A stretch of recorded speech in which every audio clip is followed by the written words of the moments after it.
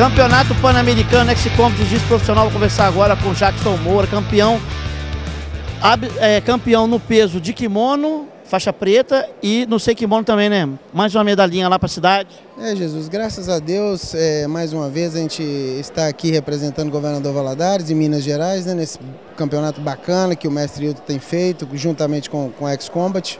E graças a Deus, Deus abençoou novamente né, a minha trajetória e estou levando duas medalhas de ouro, eu ganhei as duas categorias que eu disputei. Beleza, então. Como é que, como é que foi esse ano pra você? Porque agora já estamos no final da temporada, praticamente. Esse aqui, no nosso, acho que é o penúltimo evento, né? Só falta mais evento na Bahia, acaba a nossa grade de eventos de 2016. Como é que foi o, o ano aí pra você? Apesar de toda a crise, né? toda a dificuldade. Né? O ano foi melhor do que eu esperado, né? É o quarto evento que eu participo e é o quarto evento que eu ganho, né? Depois da minha volta dessa parada aí que você sabe. E eu tenho que agradecer os patrocinadores, agradecer primeiramente a Deus, né? E os meus alunos que estão aqui também ganhando tudo, inclusive tem um que vai fazer a última final do, do, do campeonato agora, né? Você sai daqui atrás da gente. Exatamente, o Marconi que está esculachando.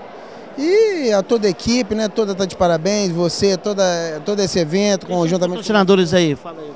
Eu sou patrocinado pelo restaurante Boutique do Sabor, é, pelo Garfo Clube, pela Nutri Center, pela Tom Zero Residenciais, pela, pela Rock Point, pela Nélia Duarte Comida Balanceada, né? E, e, e Deus, que é o meu melhor patrocinador.